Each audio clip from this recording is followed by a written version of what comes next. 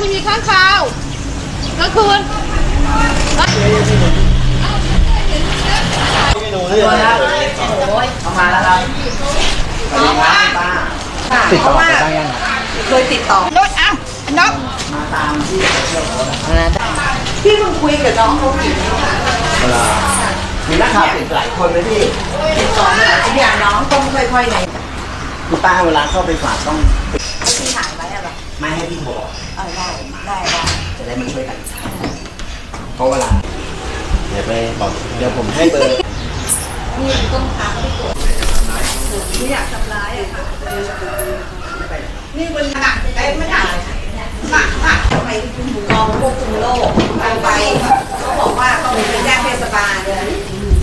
แล้วก็บ้านนี้ด้วยไม่อยู่ทั้งเสียงทั้ง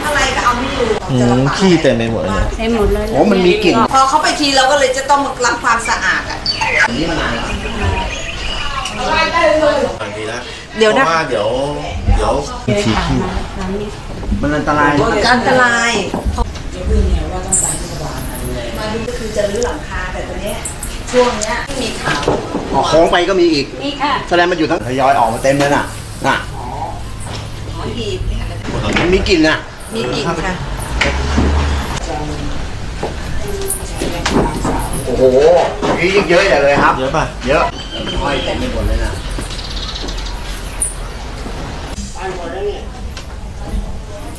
บางทีแล้วเดี๋ยวนะเพราะว่าเดี๋ยวเดี๋ยว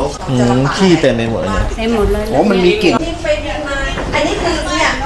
เราก็หาวิธีแก้คือเอาไปขายมั่งเอาอะไรมั่งแผ่นในนี้ก็มาติดวาติดกันไว้ช่วยเองไนะคะ ใช่ใช่เลี้ยงแมวเพื่อป้องกันข้างคาวก็ไม่ได้ช่วยอะไรทางนั้นน่ะแล้วแล้วพอกลางวันเขามันจะแห้ง ก็มันก็จะตกใจแค่แป๊บเดียว ไม่ได้เป็นพันตัว เนี่ยเนี่ยฉันทำสองไอ้พวกนี้เที่ยวกับขี้มันเนี่ยไหนบ้างครับป้าเครียดมากเลยอืมอืมเครียดเรื่องอะไรบ้าง เมียข้างเขานี่แหละทำไมอะครับ เนี่ยเขามีปัญหาเนี่ยต้องทำทำให้ป้าไม่สบายใจ อืมยิ่งรู้ว่าเป็นข่าวอย่างนี้อ่ายิ่งกลัวใหญ่ยิ่งกลัวใหญ่เลยอยากจะฝากให้หน่วยงานเขาดูแล เขาดูแลอืมแล้วทุกวันนี้คุณป้าเดินมาทางนี้บ้างไหมหรือว่าดูแลตัวเองอย่างไรบ้างดูแลตัวเองอืมทำยังไงไปครับนานๆป้าก็ต้องมามองใหม่อืมอยู่มานานอยู่มานานยังครับป้า ป้ามาแล้วมีข้างคาวนี่สามปีได้แล้วก็อยู่อย่างเงี้ย นะ ยิ่งเพิ่มจำนวนขึ้นไหมครับ เพิ่มอะ หรอ ตอนแรกตอนแรกมันจะมีแค่สามตัวอืม สี่ตัวแล้วมันก็เพิ่มขึ้นมาตอนนี้ที่มองมองๆเลยเนี่ย ประมาณเท่าไหร่ จะเป็นพันไหมจะเป็นพันตัว โอ้โหแล้วยิ่งยิ่งรู้ไหมครับว่าพอเป็นข่าวอย่างนี้แล้วเราต้องดูแลยังไงหรือเรากลัวยังไม่ไงสบายใจเลยอะหรอ กังวลทุกคนด้วยไม่ใช่เฉพาะในบ้านเราอืนะมอืมแล้วยิ่งเราแจ้งไปแล้วก็อยากให้เขามี feedback กลับมาหาเราบ้างอืมว่าเราต้องแก้ไขยังไง ซึ่งเราก็หาทางแก้ไขด้วยตัวเราเองก่อน ว่าต้องทำยังไงบ้าง ไม่ว่าจะหาตาข่ายพลาสติกมาคลุมอืมแล้วก็ใช้เสียงบ้าง ใช้ควันด้วย ทุกวิถีทาง นี่ก็ยังกะคุยกับทางลูกชายป้าเขาว่า จะทาสีใหม่แล้วก็เปลี่ยนหลังคา คิดว่าจะแก้ไขปัญหาได้ไหม ไม่แน่ไม่ทราบเหมือนกันนะคะ แต่อืม ก็คือคุยกันไว้แล้วว่าจะเปลี่ยนหลังคาเป็นโปร่งแสง ครับที่กลัวกลัวอะไรครับพี่